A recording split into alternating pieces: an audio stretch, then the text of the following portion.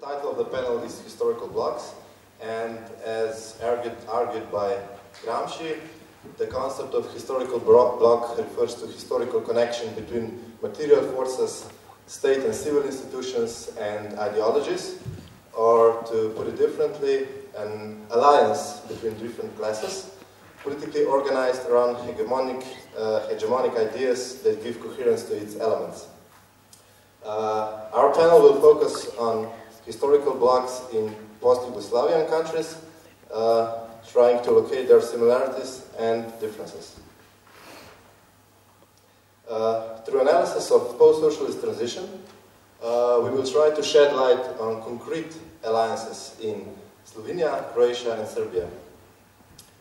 And by examining the connection between economic interests and cultural and ideological leadership over the allied and subordinate groups in these historical blocs, uh, we will try to detect the relationship between the dominant class and the weakest link of the alliances. And uh, of course, we will try to emphasize the political dimension for the progressive left movements uh, in this region.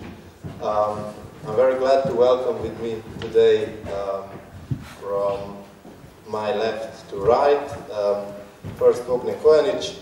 He's a postgraduate student in uh, Central, Central European University in Budapest and also a member of Center for Social Analysis in Belgrade. And next to him is Anej Korsika, uh, a member of Institute of Labor Studies, the organizer of May Day Conference, and also the member of Initiative for Democratic Socialism. And next to me is Marko Kostanić, um, a member of editorial collective for newly found critical um, web portal Bilten, and also a co-founder and member of Center for Labor Studies in Zagreb. Um, okay, um, this is more or less it. Uh, um, after each contribution, we, I expect a lively debate, so uh, I won't be wasting any time. And uh, please, Ognjen, the floor is yours. Thank you. I want to thank uh, the Institute for uh, Labor Studies for inviting me here and for all the organizers for, for this good conference. And without uh, much ado, I will start with my presentation. So uh, the title is Disciplined, Dispossessed, and or Disorganized, three cases from post-socialist Serbia. And without going into theoretical elaboration, I will assume that the state plays a big role in fortifying and reshaping a historic bloc, while labor unions are the main element in the civil society that can challenge it. So let me start with two quotes that describe the state of union activism in post-socialist Serbia. Quote, there is almost complete agreement among labor researchers, union officials, rank-and-file union members, and the general Serbian public that the working class in the 1990s was divided and disorganized and that trade unions were weak and without any real influence. Workers have simply been unable to organize collectively or decisively for any serious purpose regardless of their individual preferences. End of quote. And the second one is, the strikes that took place in Serbia after 2000 were more frequent, had massive participation, were better organized, but less efficient than the strikes that had taken place before, or the strikes that took place in the neighboring countries. The transition and privatizations, privatization are virtually finished. The workers are marginalized, and the publicly owned companies are waiting to be sold and public services reformed. The biggest mistakes labor unions made were and continue to be the dependence on the state and entrepreneurs in the material sense, in cadre selection, and in the ideological and political sense. The consequence of this is the lack of solidarity, an insufficient level of support to the workers who fought privatizations with strikes and protests. End of quote. The first quote is from a chapter in an edited volume dealing with labor in post-socialist Eastern Europe, and it was published in 2001. The second was from an article on labor unions and strikes, published in 2013. So the overall conclusions are pretty similar with regard to the strength of unions, and we could say almost identical. Uh, both identify the problematic legacy of union activism, or the lack thereof in socialist Yugoslavia and the politicization and involvement in the nationalist project during the 90s, as well as the institutional framework that allowed their fragmentation from the 90s onward. What is the, quote from the panel description? Historical congruence between material forces, state and civil institutions and ideologies that gives rise to a situation in which unions play such a marginalized role.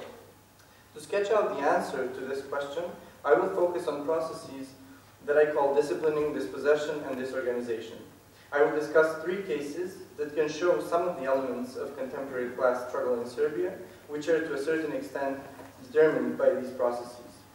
An enterprise where the privatization process was successful and the enterprise continued working, which is Fiat Automobile Serbia in Kragujevac.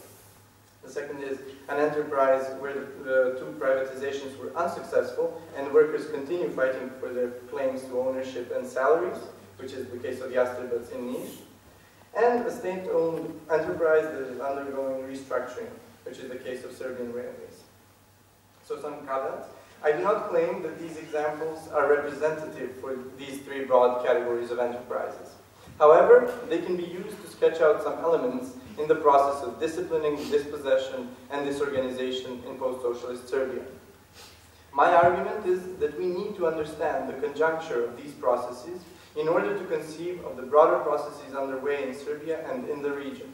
In other words, I argue that we need to ground the understanding of the macro processes in the periphery in the exploration of concrete circumstances in which the specific historical conjuncture is crystallized in a specific context, that is, to use ethnography. That is why I will focus on the concrete circumstances of the workers employed in the three companies rather than try to generalize about the class struggle and historical bloc in Serbia today. But I will go back to the macroscape in the conclusion to draw out some insights for potential political work. Okay, so let me go on with the examples. The first examples is uh, of the process that I call disciplining, and it takes place in Fiat Automobile Serbia, uh, which used to be the Zastava car manufacturer. And uh, it can show uh, the global mobility of capital and all those broad processes that are underway, which enable Fiat, on the one hand, their powerful position at home, uh, because they can threaten their workers to move production from Italy to other countries, which is in turn uh, enabled by uh, exploitation of workers uh, in the periphery and subsidies that they continue to receive uh, from the states that want to uh, attract foreign direct investment. And uh, the official state policies um, are completely in line with, with these processes. And Fiat is really highly regarded by the politicians. They always emphasize how it's a big exporter, although they never say how much it imports in order to produce cars in Serbia. And uh, what is often forgotten is that uh, Zastava as a system uh, used to employ um, around 30,000 workers before the 90s, uh, and Fiat today employs, uh, with all the companies uh, that work for it, around 15% of, the, of that number. Um, so what happens in the company uh, is uh, a form of quiescence. Uh, there was only one outbreak of dissatisfaction when um, a group of workers or a worker sabotaged the production by scratching the, the paint of the new cars and we could see the immediate reaction of the police, of the public attorney, uh, and uh, some high officials who uh, claimed that they were ashamed of the act. Um, so we see also that uh, the company itself uh, does a lot of ideological work to cover the exploitation of workers. So they build a nice pond in the factory circle. Uh, they call the factory our factory. They organize family days so that family members of workers can come. And and uh, see the workplace. And even the recent baby boom is uh, in Kragujevac is uh, ascribed to the benevolent fiat. Um, and all of these activities and strategies of the company are used to, and I quote, motivate and spark productivity of the employees and contribute to the development of team spirit and positive atmosphere among the employees and team leaders. So the classic neoliberal spiel. Um, and at the same time creating the internal market where, where workers compete among themselves. Uh, on the other hand, uh, we have the great reserve army of labor of some 22,000 unemployed in Kragujevac, who are constantly pressing and uh, pursuing jobs. Uh, some 1,000 workers, unemployed workers, are actively pursuing work in Fiat, always trying to uh, to get into Fiat. And uh, in the low-paid positions, we can see that workers get changed really often. So it's a, it's a real threat. Also, there are more than 1,600 workers uh, who left the firm before uh, Fiat was taken, um, before Fiat took over Zastava. Um, and they were promised a special monthly payment um, by the state until they could retire or find new jobs but uh, the payments were irregular and they could never find new jobs um, because Fiat's partners were employing new and young workers. Uh, but they were also obliged to undergo training that would qualify them for new workplaces, so the classical individualist story of um, our qualities in the workplace, blah, blah, blah. Um, so these workers are organized, or ex-workers are organized and fight through a labor union, but without much success. Um, and uh, there are also reductions in the number of workers uh, in other companies that were created when Zastava was broken up. Uh, and there are around 1,800 workers who were asked to take the social program and leave the companies voluntarily before they are sold and closed. Okay. The second example of what I call dispossession is the case of Jastrebac, uh, which is a really good example of many uh, unsuccessful privatizations in, um, in Serbia. Um, before the privatization, it was successful in exporting its products, but um, now it, I mean, the, the, production is really reduced. Um, and we can see uh, how the role of the state uh, in the fate of Jastrebac concretely, but in other, many other cases, was usually contradictory. First, uh, they insisted on privatizations, which were supposed to alleviate the, the debts um, towards workers and, and others. Um, yes, first privatized in an auction uh, and bought by a consortium of two companies. Uh, at that point, they were owed, the workers were owed 12 salaries. Um, and after three months, they started general strike because uh, the production was not restarted and their salaries were not paid. And there were speculations that uh, the consortium only bought it so they could use the land to build a parking lot for the supermarket that they built nearby. Um, the privatization was annulled, and then the company was sold on the stock market to a Russian company uh, for the amount that was 30 times less than the estimated book value. Uh, this new uh, owner managed to uh, increase the debt to 45 salaries, so the workers were paid nothing for almost additional three years. The company then went bankrupt and started the administration procedure called Stečaj in Serbia, and uh, the assembly of claimants decided that they want to go into restructuring. Um, they created two daughter companies, they managed to transfer all the the company's facilities, machines, tools, and funds without the debts, including the debts to workers. They uh, only employed around uh, two-fifths of the workers in those two daughter companies, and they never, even those who were employed, never received what was owed to them. And there were even allegations that the administrator of the company allowed the subsidiary companies to illegally employ workers while forbidding the ex-workers to come to the factory grounds. Um, and although the production in these new companies were, was profitable, uh, the workers' demands were not met, um, even after one minister pitched deals uh, to the company. Uh, so the Autonomous Trade Union, um, which gathered uh, many of the workers from the company, they sued the company, and as an outcome they became the owners of the main production facility. Uh, so the Court of Appeals approved that decision, made it legally valid, and the subsidiaries were forbidden to dispose of the property, but in the end, tax administration blocked the company account and choked the production. So we see that many different institutions within the state were doing things that were completely contradictory. And finally, the third example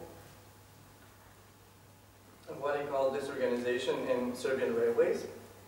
And um, as in the case with many other uh, railways companies, um, it is not a profit-making enter enterprise, uh, and it survives because of the government subsidies, uh, and they always claim that subsidies are too big and they need to be reduced, cut back. Um, and one of the pressures uh, that has been uh, showing up in the, in the last couple of years or a couple of months, actually, uh, is the liberalization of the railway network. Um, so in cargo transportation, there is a huge risk that uh, the competing companies uh, will take all the better deals because they have the competitive advantage of better locomotives, better wagons, higher priority. So the cargo transportation, which is the only one uh, profitable now, um, will, uh, will suffer because of that. Um, and the subsidies that are already presented as uh, too big, if they are uh, reduced or uh, completely taken away, um, there is the possibility to shut down cargo transportation. On the other hand, for the passenger transportation, the, the situation is even gloomier. Um, the history of socialist modernity brought railways as a means of cheap, uh, cheap transportation meant to increase mobility both in its physical and social aspect. And I think it is really important because if left to the market uh, conditions, uh, the prices in passenger transportation might skyrocket and many uh, unprofitable uh, lines might be closed so that some people um, can be reduced to complete immobility or forced to permanently move to places where they can access goods and services without the need for transportation. Um, and this liberalization goes hand in hand with restructuring of the companies that uh, the Serbian Railways has been undergoing for the past, I don't know, 10 years or so. Um, the most important aspects are downsizing, so layoffs of around 14,000 workers, uh, shutting down parts of the railway network that had the biggest losses, um, or that were in the worst condition, and splitting the company into three companies. Uh, so this last uh, thing that I mentioned, splitting the company, uh, almost uh, tripled, or at least tripled, the number of people employed in the administration, whereas at the same time, the blue-collar workers were hardest hit, uh, since their salaries uh, haven't been raised in years, and the number of workers was almost um, reduced by half. Um, Unfortunately, uh, so far there were no layoffs, uh, rather workers voluntarily retired with severance pay, but they keep uh, emphasizing that there is a possibility of workers being, uh, being sacked if they don't want to leave the company on their own. Um, and in this example, we can see how the public interest in having affordable transportation and the particular interest of railway workers in saving their jobs are crystallized in, the, in this transition case. Um, so what was the response of labor unions? Um, one major strike took place in 1993 when the first independent labor union was formed. And since then, 20, over 20 labor unions uh, have been founded in this company, and some were founded by the management to split the workers. Um, and the labor union officials are guaranteed paid positions and benefits, um, and especially for loyal union leaders, which pits workers against each other. So they do not act in concert, and even 10% uh, of the workers do not belong to any unions.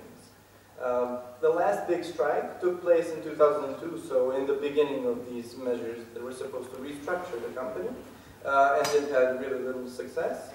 Uh, so that labor unions' activities since then have been limited to participation in the social dialogue and sporadic calls for the management change. And the last call for protest uh, resulted in a huge pressure by the management on workers to leave labor unions or else be sacked. Okay, so let me conclude now. The conclusion is somewhat long. Sorry. So these three examples only scratch the surface of the variety of circumstances in which workers in Serbia find themselves today. The government policies directly shape the processes that take place on the macro level in Serbia. The capital flow from the core countries the state involvement through subsidies for privately owned companies, reduction of subsidies for the publicly owned ones, preference for private and corporate ownership, and so on. The outcome of such policies is the obvious lack of solidarity between private and public sector workers, but also among workers in specific fields and even workers in specific companies. However, to understand how this came to be, we must not stop at the government policies level, but try to understand the meso-level processes that I call disciplining, dispossession, and disorganization. In other words, macro outcomes come to be uh, through scaling up of these instances within the conjuncture.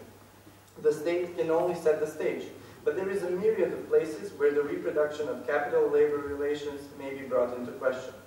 In order to understand why this reproduction goes unchallenged in most cases, I argue that we need to pay more attention to this meso-level in our analysis. This will help us rethink the organizational potential of the workers since these processes define the workers' concrete material circumstances, but also to notice and use the cleavages in the workings of different state institutions that can be deeply contradictory, as I mentioned in the case of Jastrebac. So, for example, while the privatization agency may pursue privatization as a rule of thumb, there may be strategies that allow the workers to hold elected officials accountable in cases when they take up populist rhetorics. There are also institutions such as the Ombudsman, courts, and anti-corruption agencies whose relative independence from the executive branch may challenge the dominant force on the human rights grounds or even purely procedural and legalistic grounds. And we have seen in many cases that workers can use those, um, those institutions, for example. Jugoremedija may be the best example. Rather than generalizing about the state of the struggle in the country as such, I described these three examples to ground the generalization about disciplining dispossession and disorganization uh, as meso-level processes.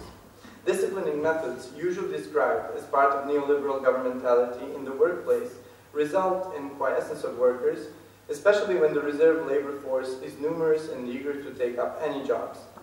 The disciplined in this case truly know that what is worse for workers than being exploited in capitalism is not being exploited at all. Otherwise, the fate of the dispossessed lurks behind the corner. Dispossession has created armies of people that have nothing to lose in the struggle, but often lack the organizational and material prerequisites for such struggle.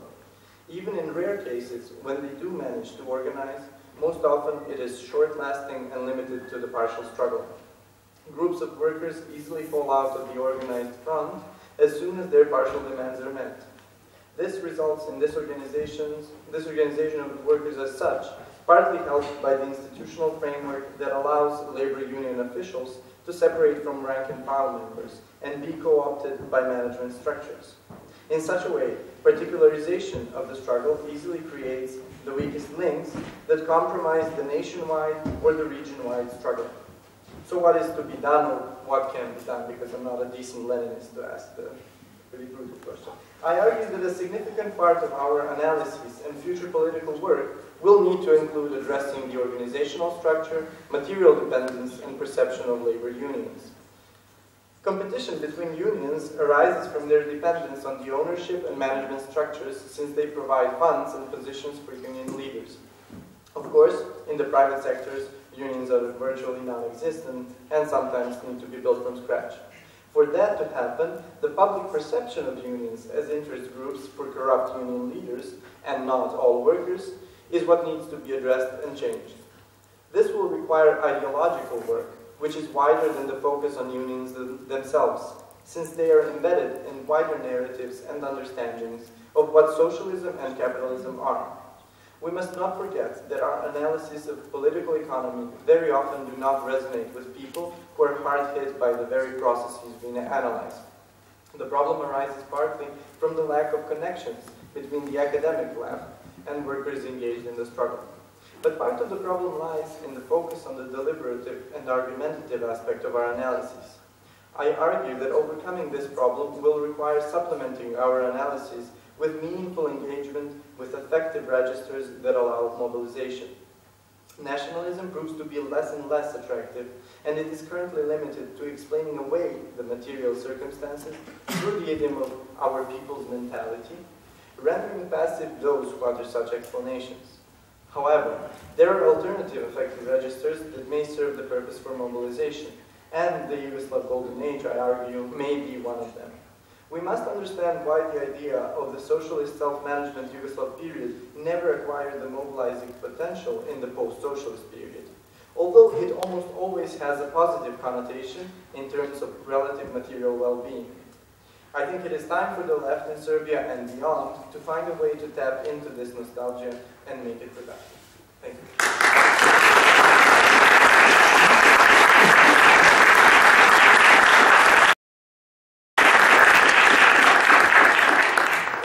Thank you very much. much for this interesting presentation. And next up is Anej Korsika with his take on the specific situation in Slovenia. Thank you very much. It's good to be here. Uh, as always. Uh, is this working? Yeah. Well, Anita said that I will be talking extensively on the uh, situation, on the case of Slovenia, which is not entirely true. I will be rather focusing on the problem of uh, class consciousness, and I have a good excuse for that, because tomorrow, Comrade Branko Bembič, who I personally, and I'm not the only one, believe is the, the best expert on Marxist class analysis in Slovenia, will be a keynote lecture, so why recycle something that you can get from the source itself? Uh, okay, the title of this uh, speech is Notes on the Class Situation in Slovenia, from Class Compromise to Class Struggle, but as I already said, the talk will be a bit different. The conventional story of Slovenia being the success story of countries of former Eastern Bloc, the Balkans, Switzerland, and the lighthouse of Europe, as some of our most delusional politicians have called it, has now finally shattered to pieces. No one with any sanity left can argue for any kind of such exclusivism. On the contrary, the country is now deeply rooted in a chain of European peripheral countries. Michael Roberts, who recently participated on our symposium devoted to the socialization of banking sector, noted that in the period of 2008-2013, Greece's real gross domestic product fell by 23%, but the next biggest fall was Slovenia at 10%. He also underlined that the estimates for this year show Slovenia will be the only one of peripheral countries still falling. Having said that, it seems that we have better chances of becoming the worst rather than the best, as earlier mentioned politicians have fantasized about. The fact is, hardships people are enduring are real and getting worse by each passing month. 400,000 people are living below the poverty line or at risk of falling below it, with more than 130,000 people unemployed and 14.2% unemployment rate, and with forecasts of the third quarter of this year reaching 14.5% in unemployment. The unemployment as such is quickly approaching the record level of 15.5%, which we had in early 90s. At this point, it is also worth noting uh, that before the disintegration of Yugoslavia, in Socialist Republic of Slovenia, unemployment was practically non-existent and actually one of the lowest in the world. There are, there are other alarming um, uh, signs of social disintegration and uh, hardship. For example, there are alarming numbers of elementary and high school students which cannot afford a school meal anymore. Instead of systematically addressing these issues by social policies, we are witnessing programs like the one on the national radio called the Become a Godfather, where you can become an anonymous godfather to a child and donate some money each month. This program reports on horrific stories of children whose parents almost uh, uh, whose parents cannot afford to pay for their school meals or even provide them with a meal at home. They depict techniques how to combat hunger. For example, one child explained that he tries to drink as much water as possible to ease down the feeling of hunger. These are stories of social mimicry, as poverty is still perceived as something shameful and a clear sign of one's incompetence. So beside everything else, these students must hide their poverty. What is even more telling is that in many cases, their parents are not unemployed people, just people that cannot get through the month with the wage they earn.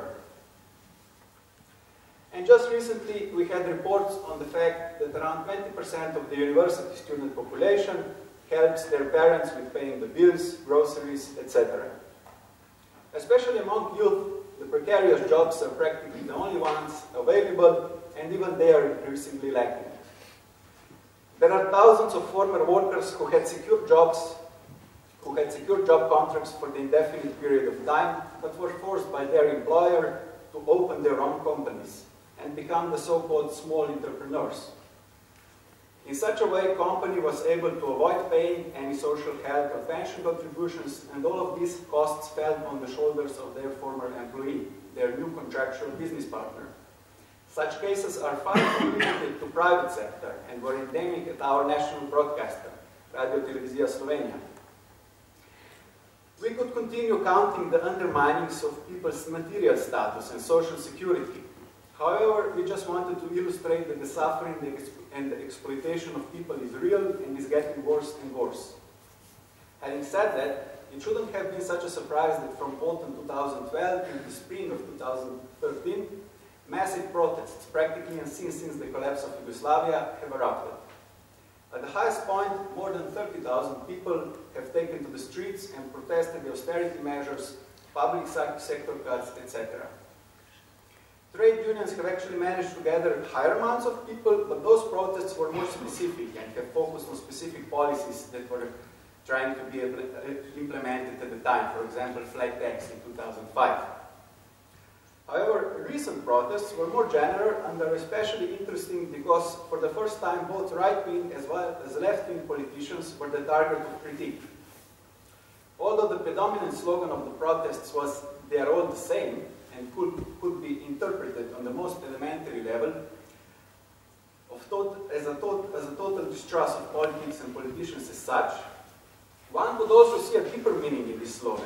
Yes, they are all the same. Whether social democrats or conservatives are in power, they have their minor, unimportant differences, but when it comes to serving the interests of capital, they are actually all the same. One could see in this an embryo of a different kind of politics. Yes, small and fragile, poorly articulated and heavily invested with moralism, but nonetheless, Socialism never drops from the sky and is always a result of long-term struggles.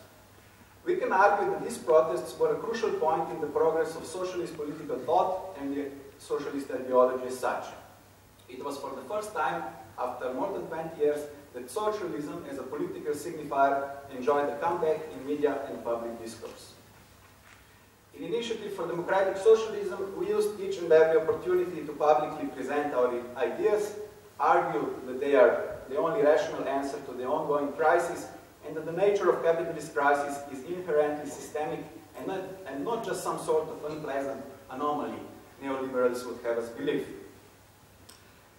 Despite, despite such changes being primarily of discursive nature, they are still important. However, it did not took long, took long for other newly or recently established parties to start flirting with the idea of democratic socialism. Nota bene, when there was a, a public survey about uh, people's attitude towards capitalism and socialism, 16% of, of questioned replied that they are more fond of capitalism, while 46% responded that they preferred socialism.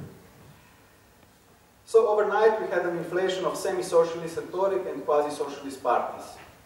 Without the unnecessary self-modesty, it is safe to say that the great majority of these ad hoc socialists were in for, were in for a more opportunity reasons or didn't really have a good understanding of basics of socialist policies, namely class struggle. For them, the main motto, I would argue, became people of goodwill of all lines unite. Although they try to present themselves as a kind of leftist alternative, the most obvious examples of such strategy are party solidarity and the election list of Igor, Igor Šoltes, former president of Court of Auditors. They were never willing to clearly position themselves. They wanted everything. Economic growth, secure jobs, competitive companies, strong public sector, and so on and so on. Being devoid of any socialist substance, ignoring the actually existing class nature of, of capitalist society, they were in effect dancing to the rhymes of capital. This political phenomenon is already perfectly described in Marx's Poverty of Philosophy when he talks about the philanthropic school of economists. I quote, it denies the necessity of antagonism. It wants to turn all men into bourgeois. In theory, it is easy to make an abstraction of the contradictions that are met with at every moment in actual reality. They want to retain the categories which express bourgeois relations without the antagonism which constitutes them and is inseparable from them. They think they are seriously fighting bourgeois practice, but they are more bourgeois than the others.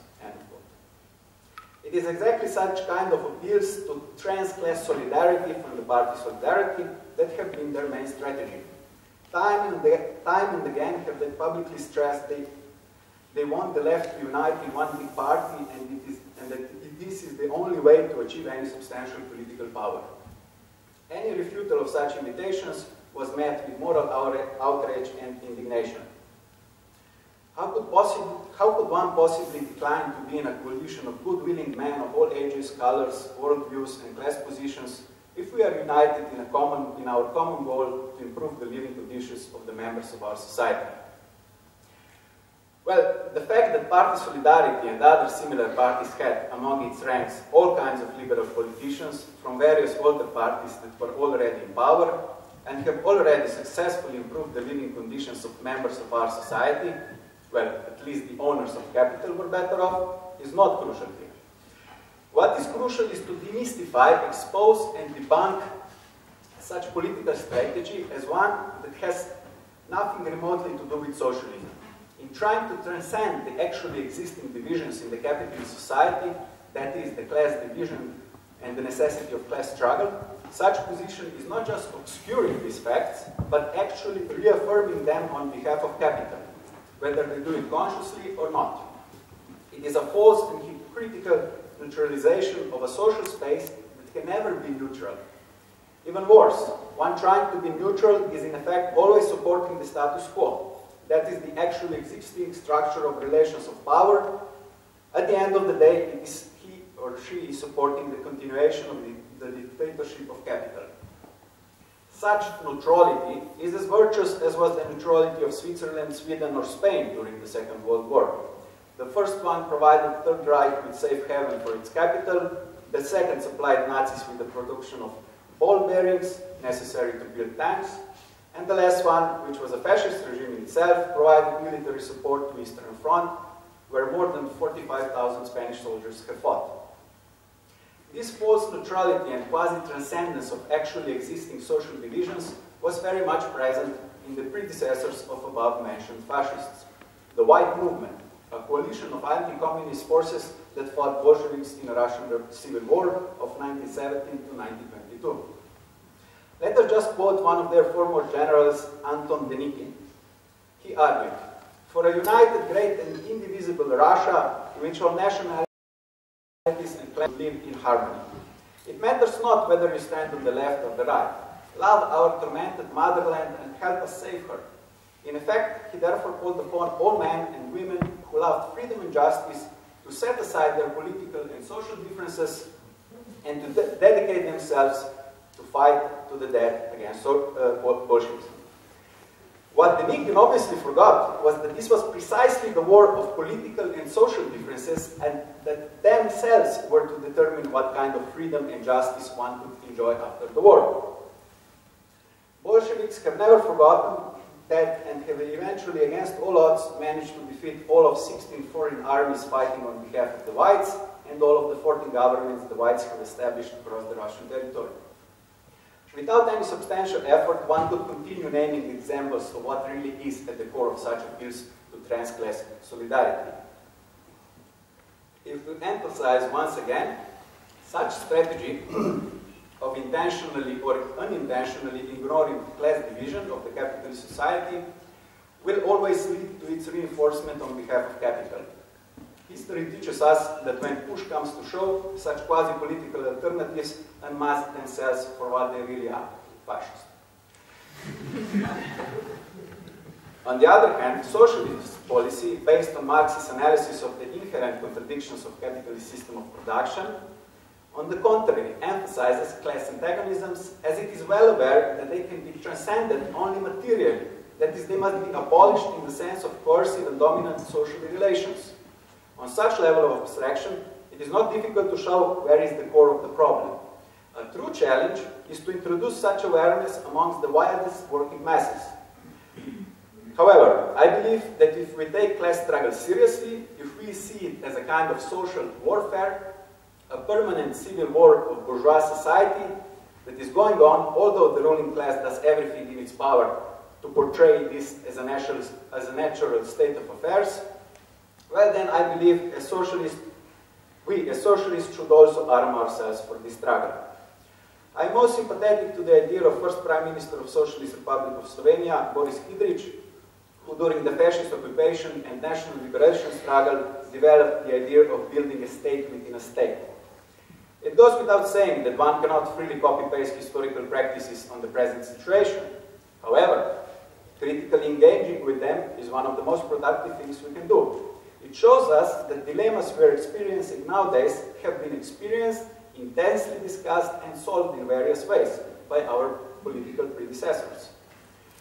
If politics in capitalist society are necessarily and by definition class politics, and if it is obvious that the ideological hegemony bourgeoisie enjoys is materially rooted, we as socialists can only rely on people's masses on building all kinds of new institutions, ranging from cultural, media, and political organizations to sport society, working brigades, and various other kinds of practices through which we can socialize ourselves to becoming socialists.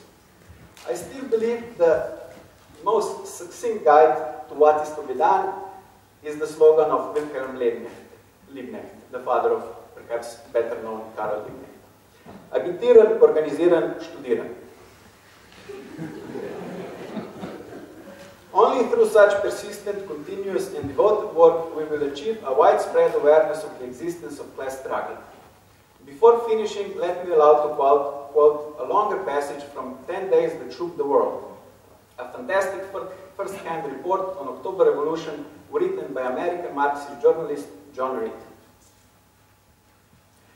We sallied out into the town. Just at the door of the station stood two soldiers with rifles and bayonets fixed.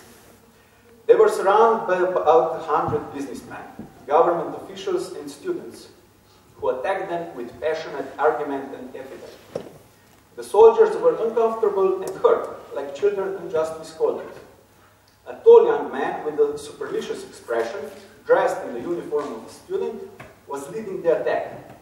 You realize, I presume, he said insolently, that by taking up arms against your brothers, you are making yourselves the tools of murderers and traitors. No, brother, answered the soldier earnestly. You don't understand. There are two classes. Don't you see? The proletariat and the bourgeoisie. We, oh no. I know that silly talk, brought the student rudely. A bunch of ignorant peasants like you hear somebody bawling a few catchwords. You don't understand what they mean. You just echo them like a lot of parents. The crowd laughed. I'm a Marxist student, and I tell you, this isn't socialism you're fighting for. This is just plain pro-German anarchy. Oh, yes, I know, answered the soldier, with sweat dripping from his brow. You're an educated man, that is easy to see. And I'm only a simple man, but it seems to me, I suppose, interrupted the other contemptuously, that you believe Lenin is a real friend of the proletariat. Yes, I do, answered the soldier, suffering. Well, my friend, do you know that Lenin was sent through Germany in a closed car? Do you know that Lenin took money from the Germans? Well, I don't know much about that answered the soldier stubbornly. But it seems to me that what he says is what I want to hear, and all the simple men like me. Now there are two classes, the bourgeoisie and the proletariat. You're a fool. Why, my friend, I spent two years in Schlussberg for revolutionary activity, when you were still shooting down revolutionists and singing God Save the Tsar. My name is Vasily Grigorievich Panin. Didn't you ever hear of me? I'm sorry to say I never did, answered the soldier with humility. But then, I'm not an educated man. You probably are a great hero. I am, said the student with conviction. And I'm opposed to the Bolsheviki, who are destroying our Russia, our free revolution. Now, how do you account for that? The soldier stretched his hand, his head. I cannot account for it all, he said, grimacing with the pain of his intellectual processes. To me, it seems perfectly simple. But then, I'm not well educated. It seems to me like there are only two classes, the proletariat and the bourgeoisie. There you go, there you go again with your silly formula, cried the student. Only two classes, went on the soldier doggedly, and whoever isn't on one side is on the other. Thank you.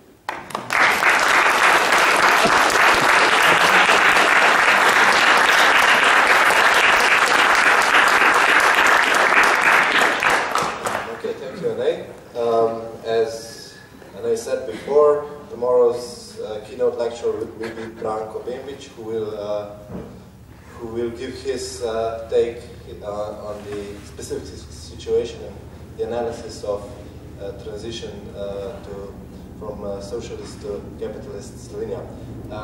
And now our last speaker is Marko Kostanić, and um, don't hesitate, the floor is yours.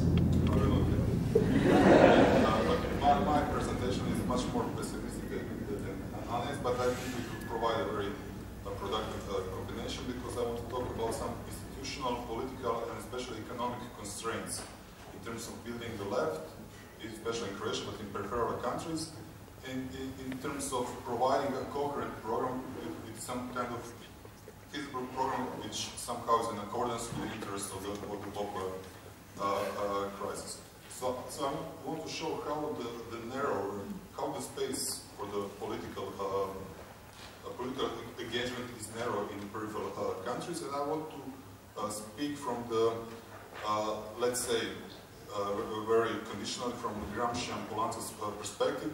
So I'm just now into it, reading those stuff, and I'm not really confident how to use it on the on the peripheral state. So this this would be some kind of hints so please, after after the presentation, uh, criticizing and giving some uh, instructions how to do uh, how to do that better. So the the first question, some kind of overall overall question I want to ask: How does uh, the state function in the periphery? What's the role of the peripheral uh, peripheral uh, state in terms of in terms of the Engels' famous definition of the state as an ideal collective capital?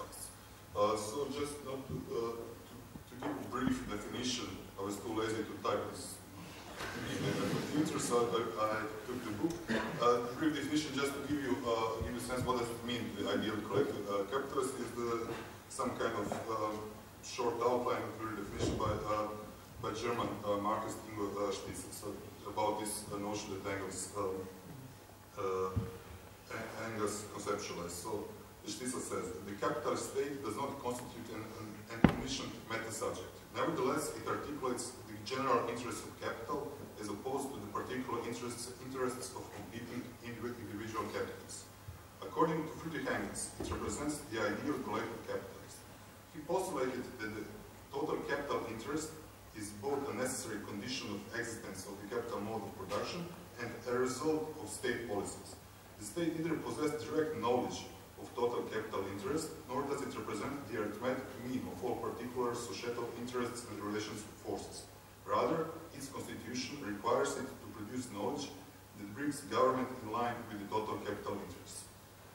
So uh, the problem with the peripheral states, especially in terms of its integration in the uh, uh, EU, is that what kind of knowledge is produced from, uh, from the perspective of, of the peripheral state is does it just reproduce the, the knowledge that comes in, in, uh, in the form of directives uh, from the Brussels, and how these different contradictory uh, contradictory positions are articulated in terms of, of, the, of the power block of different uh, fractions of uh, capital and who is, which uh, fraction is hegemonic, and also in which way through the material infrastructure, the material provisions, and ideology are the popular classes subordinating, that, is integrated in a uh, in a system, in which way does the hegemony, uh, hegemony uh, functions? The first thing I think we, we should mention that there is, let's call it some kind of division of labor in terms of, of politics and, instruments that, that were uh, before, before just state instruments. Now we have this kind of division of labor between the EU institutions and, and the nation, uh, nation states. Uh, just uh, simply in the EU with the Maastricht Treaty, we, we have, we have the, the common monetary policy, uh, the liberalization of, of, uh, of, trade, and of course, and the fiscal policies, which are not uh, the EU. Is, there's no coordination of, fiscal policy, but the Maastricht criteria, you all know, 3%, 60% of that arbitrary stuff. So that this is some kind of constraint how to for, for the for the nation state. On the other side, the nation states are still dealing with the, the, the labor market in the EU is still segmented, still dealing with the labor market and also with the social uh, social provisions, collecting taxes and and that stuff. So there's some kind of first uh, contradiction in, uh, in, in terms of of identifying and trying to articulate what is the function, what's the role of the state in the periphery in terms of, of ideal collective capital, capitalist whose function is uh, just uh, to, to, to, say again, to articulate and organize different short-term and long-term interests of different fractions of capital class, but also to, to manage to, to, to reproduce the capitalist social formation as a whole. I think that there is one, uh, in terms of different uh, fractions, I will give a little, bit later this kind of just a little bit historical trajectory of Croatian economy and, the way how the ruling classes were uh, uh, were divided. Uh, of course, the hegemony is in, uh, in, Croatia, but also in some different, um, in, in, lots of Eastern European countries that financial capital and comprador bourgeoisie in a sense mostly located in financial capital, uh, telecommunications, and this kind of uh, profitable the, most profitable sectors of economy and also the import. Uh, uh, the, the, importers of the uh, foreign goods are, the, of course, the, the hegemonic fraction in in, um, in, in the ruling class, and we can see that, that the state, uh, with which it, it is, it is uh, uh, policies is, is in agreement in a sense that it is coordinated in a sense that the hegemonic force in the state as ideal collective capitalist is, is on the side of uh, this part of the ruling class. You can see that, that most, the most uh, vividly in, this, in, terms of uh, monetary policy, the appreciation of the uh, of the currency, uh, currency in all these uh, international agreements and integrations, euro integrations, and the WTO stuff and all that that was in, in favor of of this kind of capital. The other side, the national, the so-called national uh, bourgeoisie doesn't have any kind of um, uh, political uh, power in, in, a sense that was most visible uh, during the during the referendum for the EU accession. Before the, the referendum, uh, in, in the, uh, they speak about the national bourgeoisie that was mostly located in that was especially before the crisis in the construction industry, in, Britain, and also this kind of food industry, uh, especially and also maybe in private uh, private uh, healthcare. But uh, the, this uh, interesting interesting uh, point I want to make that before the EU accession and the debates around the referendum, there was no voice from from this from this direction of capital. And it was a little bit interesting. It was funny because you know after we entered the, the EU, we are leaving uh, the CEFTA, and Croatia had um, positive trade balances in, in uh, CEFTA, especially these firms who were, uh, were exporting uh, their products to uh, Bosnia and Serbia. Uh, especially, and there was, there, there, had no kind of political, political power to introduce their interest in public space after the, the referendum was finished.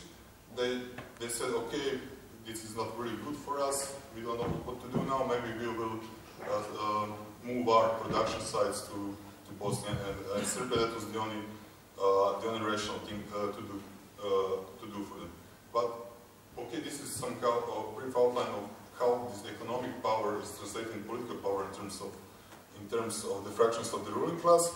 But it's interesting how uh, material provisions and ideological uh, framework were utilized uh, from the political elites and from the ruling class to integrate uh, to integrate uh, the, the popular classes. There were some really contradictions and some kind of uh, coincidence in the last 10 or 15 years. maybe you can see this coincidence okay, we said that the, the, the comprador bourgeoisie, the financial capital the hegemonic, uh, hegemonic fraction, and uh, uh, Uh, their uh, their position uh, was also reproduced through the in this aspect of integration of the Popper uh, crisis during the, from 2003 to 2008 with the with the, with the, credit inflow, especially uh, uh, for the households in terms of, of for credit uh, for, for buying different goods and especially for mortgages. And this kind of, that credit inflow gave this kind of illusion that we are really on the our way, our way to the European paradise, and it was really somehow uh, the way also uh, also the, the, in this uh, period 2003 to 2008 that, that, this kind of credit impulse I think was the crucial um, uh, material pro provision for that kind of uh, ideological ideological uh, uh, framework. As, as Omega said earlier, uh, the EU will serve as some kind, kind of um, uh, teleological goal from the perspective of Croatian um, uh, independence, both for the nationalists and, and for the uh, and uh, for the liberals. On the other hand, uh, the crisis now is, is already for six six years with us. The other way how to how to organize how to integrate the, the uh, popular classes in, in, in a block is, was to the uh, was to the budget, to the state uh, state budget, and there was, you know, on the other hand, you you, you still have the, the hegemony of, of, the of the uh, financial fraction of the ruling class, but on the other hand, the the material uh, uh, when the credit inflows stop, the material way to to uh, to support the, the, the stability uh, of the system is predominantly organized to do uh, through the budget. Because this is a, this is a story from the beginning of the Croatian independence. This, that was the way how the, the, the parties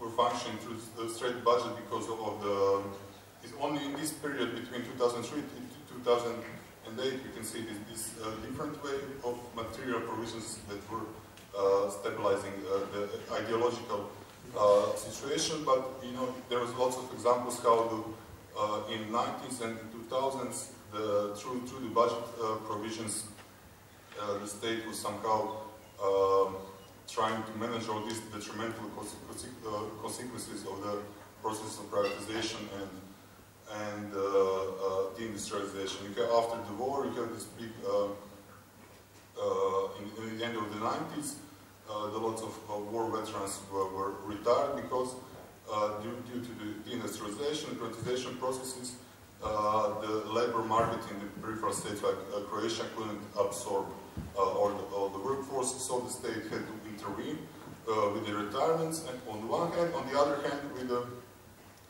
due, through the uh, mechanisms of the ruling uh, parties uh, to employ people in the public sector and state state-owned firms, and those people employed there also function as some kind of as a, as, as, a voting machine.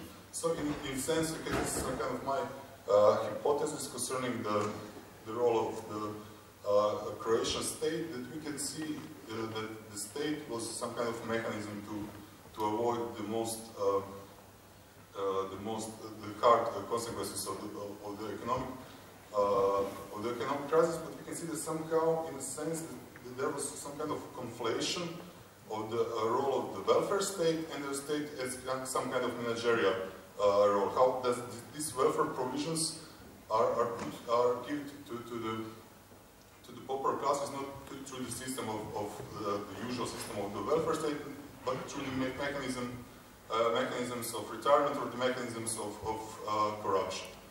Uh, in a sense, that in situation when, where the political parties are, when are there in power, they have no, um, they have no space for any kind of political decisions to be uh, to be made, especially in the economic sense. There's no fiscal sovereignty, no monetary sovereignty. Anything they only can, can uh, try try to lower the, the labor cost and all uh, and, and, play with different uh, tax system to to attract investments. But there's no anyway how these parties when they are in power, when they are in control of the state, they, how they can provide any kind of welfare to citizens. Uh, they have not any kind of uh, fiscal capacity for that. The only way to do that, I think uh, it's, it's, it's, through corruption. I think that corruption is the structural effect of, of the uh, way how the peripheral uh, uh state function. Of course, not, not some kind of uh, mentality of, of uh, the Eastern Balkan people. That was the only way how to secure some kind of material provision that would function as, as, um, as um, material material how you, I, I'm missing a word, how the relation between material infrastructure and ideology. And so I think that the corruption was the only uh, uh, was the only way uh, left, and now also it's interesting that corruption, now especially in Serbia, but Croatia it last five years, uh, was the crucial word in political uh, space. It, it, was also the uh, the only it was the only this was the only political space due to that narrowness that I mentioned because of economic, institutional, and political political path of Croatia in the last uh, 20 years that, that was the only space when you can have some kind of, of political debate and the only space where, where, you can engage with some real political uh, political uh, instruments and also unfortunately, unfortunately it started to function as a, as a way to explain the social and uh, political uh, political processes. So I don't have much time, but I will just uh, want to a little bit and, and, try to ask what is the position of the left in this kind of uh, constellation because it, it really, it in Croatia, as uh, I think uh, all of you know, there's not any kind of established uh, socially visible in, politi the political uh, strength and any kind of uh, left that can function as a relevant political actor. But in these terms of situation that I have outlined in terms of these limitations for uh, political action, we need to ask, okay, is there any kind of space to intervene from the, from the left uh, uh, from the left position? I, and I think the, maybe this is a crude analogy, but I think the left, in terms of let's call political organization or the party, should in a sense function in an analogy with this uh, Engels Engels notion of ideal collective capitalist, some kind of ideal collective uh, collective labor. Because all first thing we have to acknowledge is that uh, the interests of the popular classes in, in a short-term period, especially in a situation like this, with the way of the dependence on the budget and, and the, the, the, way how the, uh, the sector, different sector employments and all, all that stuff, that the common interests, uh, there are no, the interests of the popular classes in the short time, with, with short-time measurements, are not homogeneous. Mm. They are very different and they're, they're uh, in lots of cases in contradiction you have the privilege to claim that these uh, that their immediate interest is common only when you're, when you're, when you're not activated in a real politics. Of course, we can say that in long-term interest, they have a common interest of the abolishment of the of the capitalist system, but in a way, when we want to intervene in the political space with some concrete measures, we, we will be we, we, will not be able to avoid uh, contradiction. Contradiction. To have one uh, example, if you want, I don't know, to, to devalue currency because it, it is now uh, harmful for, for, the for the exports, you have the problem on the one side that the people who took this, that I was mentioning mortgages uh, for to buy their uh, to buy their apartments, it will be a, real problem with the devaluation in currency because their credits are, are linked uh, to euro and they have to pay them in euro and they are earning their, their wages in, in kunas. On the other hand, that will be, that will be good for some exporters or some peasants or, some, or something like this. So you have the immediate uh, conflict uh, of interest, and in what way you can solve that from the from the left uh, uh position. There's no there's no uh, clear clear. Also, I think the, that that's the problem. We have to really take um, to really think about when thinking about a left position, not to think it's some historical sense, okay, we are socialists and something will just come up because we know how the things uh, how the things work. We have to function as this kind of knowledge apparatus as a state is in a sense and try to articulate this different kind of uh, different interests in uh, repeat in, in the short term and, and also somehow to, to, to, respond to this interest to, to the concrete uh, measures. Also the second I think um, problem in, in peripheral uh, uh, countries, which is different than, uh, let's say, in, um, in the core countries for the left, because in the core countries, the state, if you, if you, in terms of these reformist measures, still have this, this political economic strength to do, to do something in independent economies like Croatia, the state doesn't have any kind of, or still doesn't have any kind of power for any kind of development developmental model uh, that will be different than this one. But just to say that also in terms when we are now uh, participating in different fights uh, for the welfare state defense, the defense of the welfare state or defense of the of the workers in some uh, factories that is fighting against these uh, processes of politics of lowering wages to attract investors. I think, of, of, course, we have to fight against it with no, with no uh, conditions. But I think the crucial thing, that I think that was problematic in lots of uh, examples on the left the last uh, five years, that when the uh, capitalists or supporters claim that they are, or the state, there are no money for the welfare, welfare state, or that we have to really lower the wages because of the competition. There's not only ideological stuff. Then from the capitalist point, it, it has uh, it, it, has uh, sense, and these problems are not resolvable on the level of, in terms of uh, integration of financial markets, integration of the economies to liberalize trade, they're not resolvable on the level of the uh, nation state. And just, I want to indicate with this, there are already, again, in the level of position of contradiction, how to uh, how to articulate coherent political uh, political position, how to respond to immediate needs of the, of the workers, and how to articulate uh, socialist uh, policy in the in the longer run. Because short-term and long long-term positions and articulations are here uh, in uh, contradiction. I repeat, this does not mean that we have to you know, abandon the the struggle for the private for the for the healthcare or for the public education or not to be solidarity with workers that they are fighting against, against lowering uh, wages. I just want to emphasize that in terms of theoretical articulation of this, of this problem and its long-term perspective, uh, we are uh, inevitably in contradiction. We have to find political and theoretical instruments uh, uh, to, uh, to solve this problem, and we can solve it only by, in, fir in first instance, only solving by working on, uh, like can you repeat that?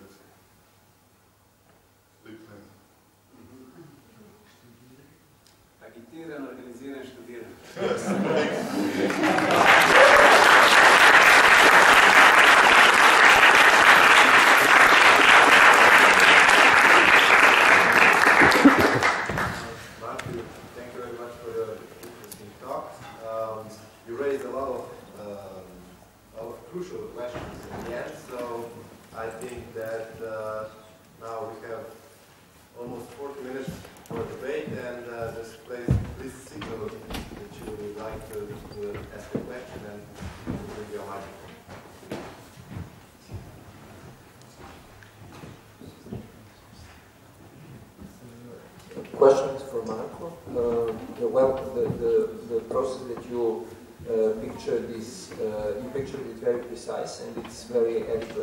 description of, of what happened and how the, the, the, popular classes were more or less uh, co-opted, maybe this is too simplified uh, term, but uh, what was the way to buy uh, legitimacy uh, for the uh, ruling classes. But also I think, um, and you a bit went that way in the end, but I think this, this has to be accentuated the, the, this uh, uh, historical sequence is more or less over. This cannot go on uh, also for the economic reasons because there is no money to buy legitimacy in this way anymore. And in Serbia, this process is very obvious with Aleksandar Vucic, uh, who took the power with his anti-corruption uh, politics, uh, and he couldn't buy social consensus in the way that uh, Democrats did in the 2000s uh, because there was no money and his uh, anti-corruption rhetoric had to have some substance to it. He couldn't really just say we are anti-corruption and then go on doing things like Democrats did in the 2000s. and then um, uh, what, what, I think, and also then the question is posed, how did he uh, acquire this legitimacy uh, uh, uh, Uh, uh, uh, for, for gaining such a big power that he gained in the last elections a few months ago. And the, the thing is that there is this switch, we talked in Serbian left a lot about it, from this tactics of buying consensus to this heightened rhetoric, populist rhetoric about the immorality of the politicians, Serbian politicians during transition. Um, uh, Uh, but also, uh, then I, I, would say, and this is the thing that uh, maybe is, uh, it was a bit lacking from your uh, presentation, is that when the, the politicians start going this way, then the, the, the way that they they can enable to stay in power for a longer time uh, is very very different it, it, it isn't anymore that, okay, we have one election now and we buy the consensus through corruption, uh, uh, mm, retirements and so on, then we buy it four years later and so on. But when you say, okay, we are not buying it anymore, we are now legitimizing ourselves on this hard uh, anti-corruption rhetoric and so on, uh, then uh, there is the, the, the implication saying uh, the things will change or the, the economy will start working because now we, are, we, we don't have the corrupted politicians in power. And uh, this is the, this is the, the kind of uh, uh, statement that is made in Serbia. And also he, he went on to say even, uh, okay, uh, maybe I'm uh, some political figure like Gerhard Schroeder who will be who will lose the next election in four years because of the things I will do but uh, in the end uh, everybody will know that I was a good guy because uh, economy will start working many, maybe not in four but many more years and, and, so on. And I think that we, we also have to, the left has to think this switch in the, in the strategy of the political parties in power. like also I, I, I would say that Orban is a case of a different uh, uh, uh, bourgeois, bourgeois strategy for legitimizing the, the, their representation of interests of capital. And uh, these other other strategies that are appearing are maybe uh, we will we will not be able to uh, to tackle them only if we uh, uh, also say like okay the the 2000s period and the uh, the, the the the politic decisions were were bad because they they are not relevant in a sense, we will just, we, will, we won't be able to uh, distinguish ourselves from the perspective of the, uh, of the ruling parties that also say they, they are bad. Uh, we have to, to uh, criticize and find ways to criticize the new strategies that, uh, that the political parties are, are taking. Uh, okay, there was lots of things, but I think that this, somehow you implicated this strategy of through, let's say, through corruption of clientelism was some kind, somehow uh, explicated. Uh, it was some kind of explicit uh, program. Uh, that wasn't explicit program. They couldn't say, no, we do this because of uh, that, but the other part that you call the new strategy is some kind of explicit uh, thing. what I wanted to say is that the political parties are, in terms of their, how they present their position, because I say they really don't have, especially peripheral countries, they don't have any maneuver space for, for, for some kind of really, if they wanted to, let's assume that, any kind of uh, political intervention that would have some uh, sense in whatever uh, uh, uh, terms. So, how, so in, in a sense, they are in this kind of um, contradiction be between the way how they um, how they manage to, to, to, to, provide social consensus, how they manage to, to collect uh, votes and the legitimation on the one hand, the other hand, also the ideological uh, story that some kind that in which they function as some kind of spokespersons of, of the of the uh, uh, bourgeoisie, and they are dealing with that situation in the, uh, the best they, they, they can. In the situation with Orban, I think it's it's interesting. It's a little bit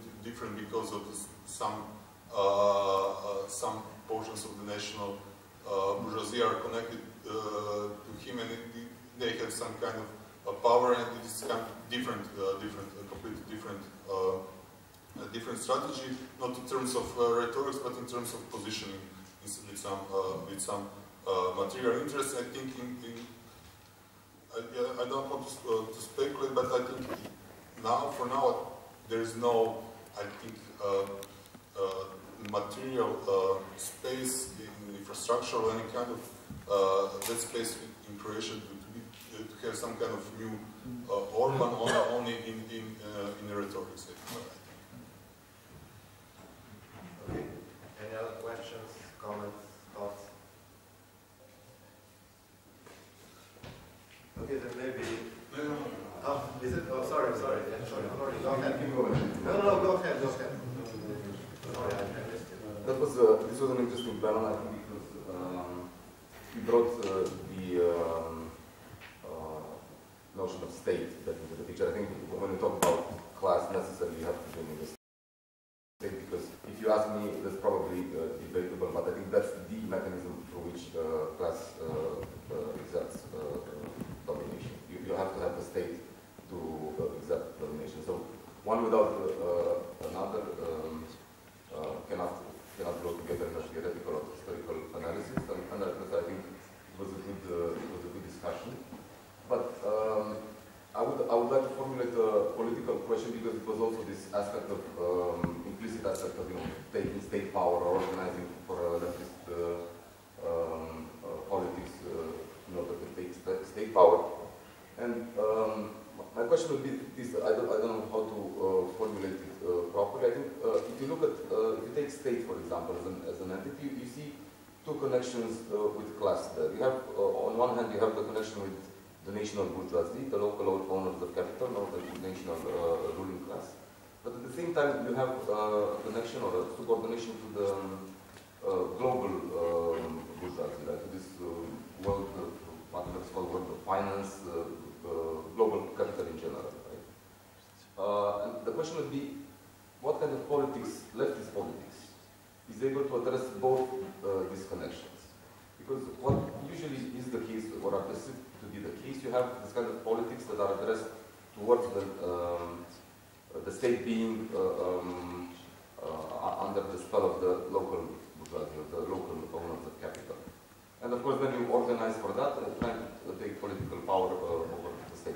But the question is, uh, what kind of leftist politics can be developed, having in mind this kind of dual uh, pressures on, on the on the state, dual dependency on the on the state. Um, and I would, I would like to bring this up uh, because you also uh, made me think about this when you talk about uh, Croatia and the EU, for example. I think that's a very interesting example, but it's not obviously not the only case. Let's, let's think of all the states today being basically bankrupt and forced to remain in, uh, in contact with the global uh, sources of um, loans, whatever they may be, IMF or uh, something else. So that would be my uh, question for discussion. For all of us. Yeah,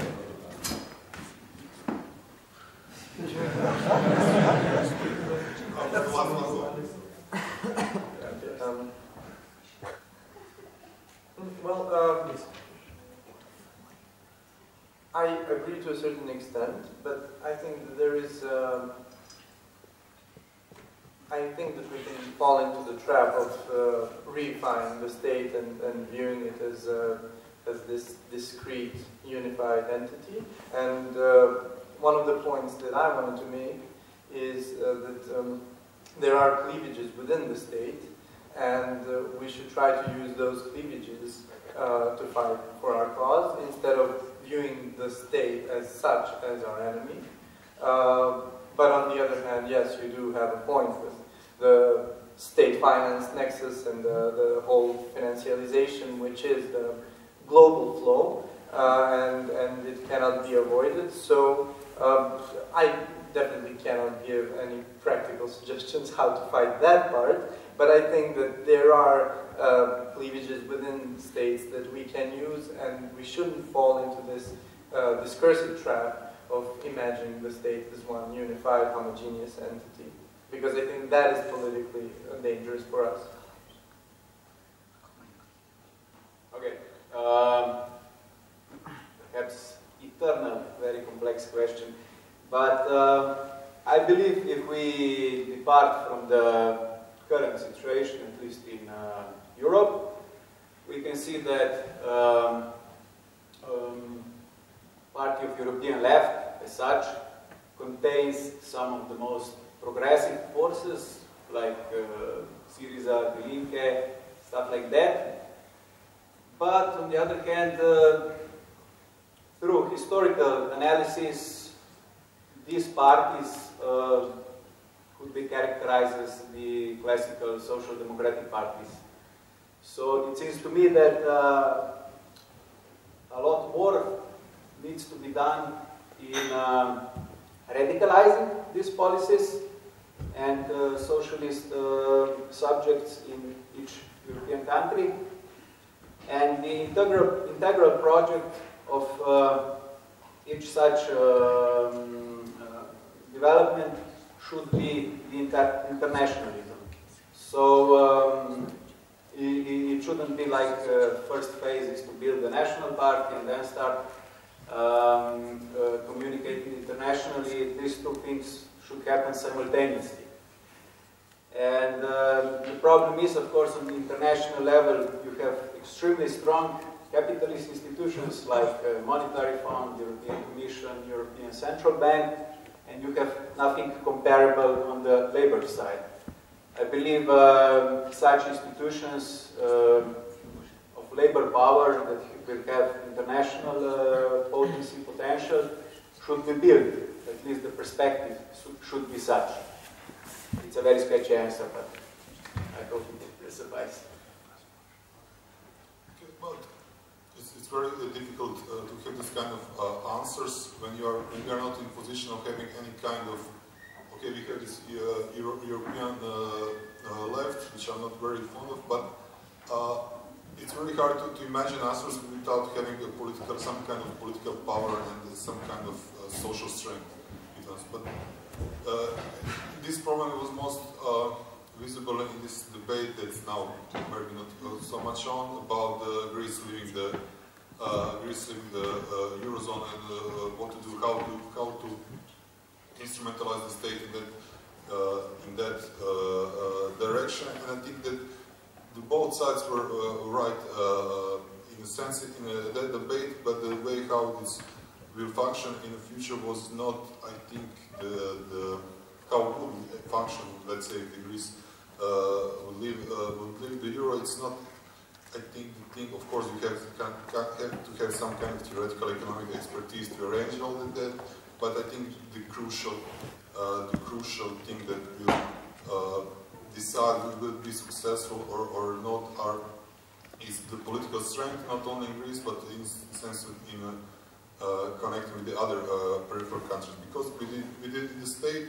uh, I agree with, with uh, uh, there are some privileges that the state in some terms is, autonomous. It's not completely, that does not coincide, state power does not coincide with the power of the uh, power of the ruling class in a sense, and there is space for, for the, for the uh, working class uh, politics to engage uh, with the state. But on the other hand, and we, we don't we, uh, we have to have in mind all the time that the state is capital state, and in a sense it's, it's dependent on, on, the, on the capital accumulation.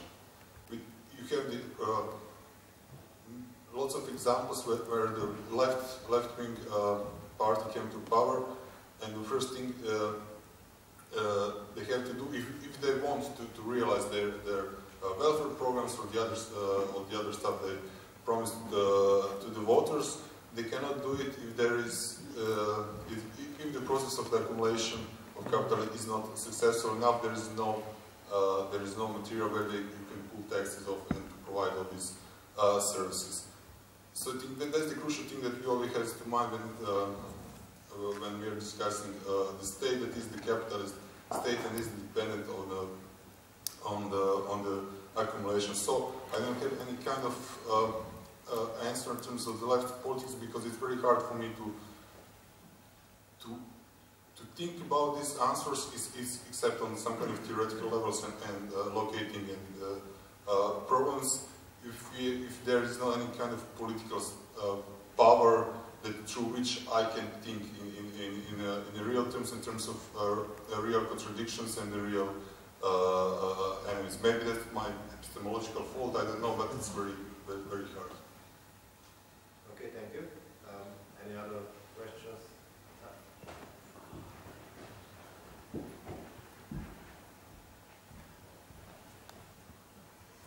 I have just a, a short question uh, for Ognjen. Um, you mentioned at the end of your conclusion something like uh, that there is a task or direction for a left to make self-management uh, uh, more productive. Am I right? Something. No, I didn't say that. Something you last one. Last Is there a question after that or just a clarification of No, no, no, no. It was something. Maybe you could read the last line. I think it was the last line. Something the left and. Um, okay, I said we must understand why the idea of the socialist self-management Yugoslav period, so the idea of the period that we have now, never acquired the mobilizing potential in the post-socialist period, so after the breakup of Yugoslavia, although it almost always has a positive connotation in terms of relative material well-being. So I think that people generally think that they lived well in socialist Yugoslavia.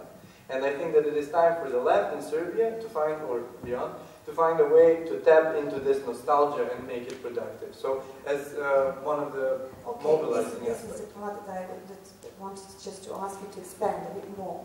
Um, so what would actually be the uh, concrete, uh, to use Marko's terminology, long-term and short terms that uh, should somehow uh, make it more productive in that, that sense that you were talking and to avoid this, that Anej uh, said, ad hoc socialism. I mean, what would actually be the task beyond this wishful thinking? Especially if you bear in mind the reasons why self-management uh, failed. It doesn't necessarily have to be self-management uh, as such. I mean, the idea about self-management.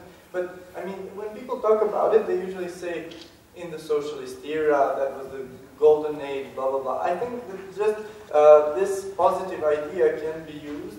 Uh, just as a positive example, of course, the historical circumstances cannot be copy-pasted as um, as someone said, remember which one of you? You said, yeah, and I said. Um, but what I meant is that, and uh, this, uh, I mean, okay, first, it's really difficult for me to think politically because I'm not engaged in political struggles and I'm some, somewhat detached from the Serbian case for, for several months now. Um, but um, this, thinking of mine uh, was produced by some internal debates that we've been having um, on the young left, if I can call it that way, in Serbia. And um, I think that we're, uh, in this point in time, we need to rethink how we're going to mobilize people. And uh, some of the suggestions are nationalism and rethinking the nationalist sentiment. Some of the suggestions are uh, consumption and, I don't know, popular culture, hip hop that expresses those ideas. I, to be completely honest, am not uh, satisfied with either of those strategies, and that's why I think that maybe nostalgia might be uh, something analogous to those two mobilizing ideas. But as I said, it's really difficult for me to think politically and, and develop a short-term, long-term strategy with it. Sorry. Okay, thank you again. Um, any other comments or questions or thoughts?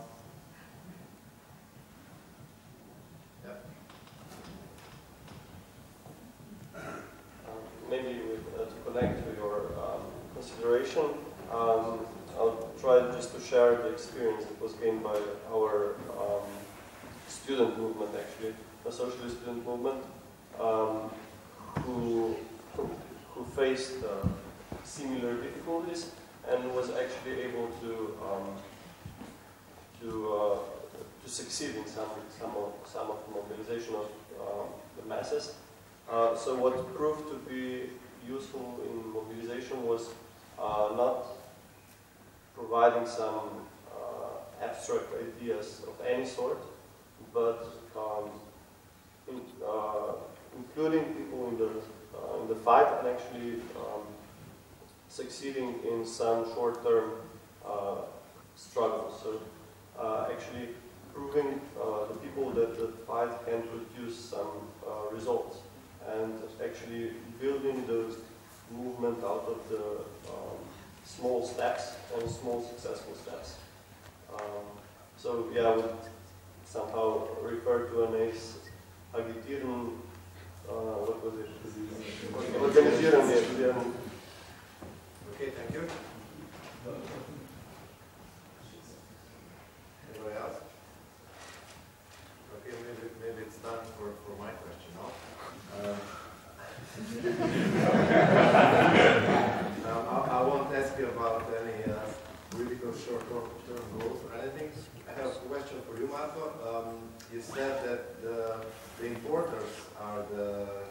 fraction in the ruling class in Croatia, in sense of, um, let's say, attracting the, the capital inflows from financial institution, institutions of the center.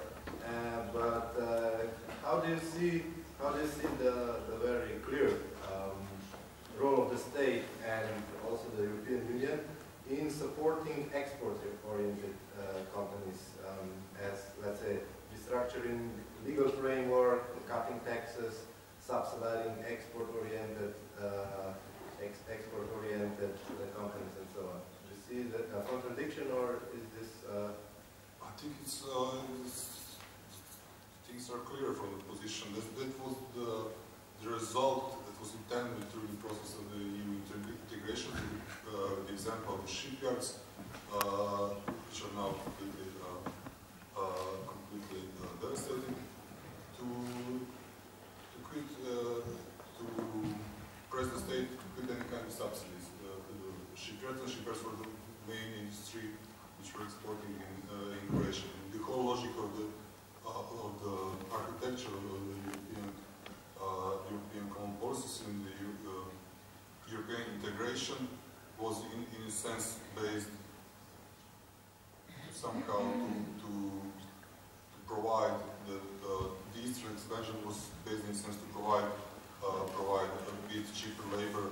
Uh, it was the case with the, with, with the opening factories uh, in the Visegrad countries, let's say German automotive industry in Slovakia, or to provide uh, new markets for the products from the uh, from the West that were that were arranged through these great people that was that were needed for to, generate the uh, demand. So I think there's uh, no contradiction in terms of what the EU policy was uh, was from from the beginning, and also that is very crucial.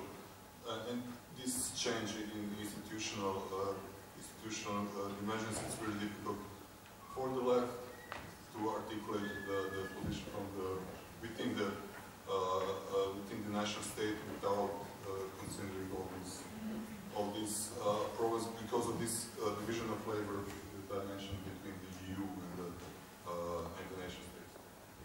Okay, thank you. Sure. Yeah, sure. Go ahead. Um, John, just to add to what Mark said, I, I've seen recently uh,